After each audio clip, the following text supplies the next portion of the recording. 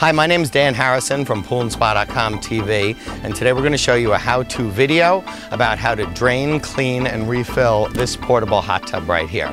A lot of people are scared about doing this themselves. Some people call service companies and they'll charge them two or three hundred to do this. If you have a couple of the right items and a little bit of knowledge, this is a project that for most people will take you maybe an hour to an hour and a half, and your spa will be perfectly clean for a couple months after that.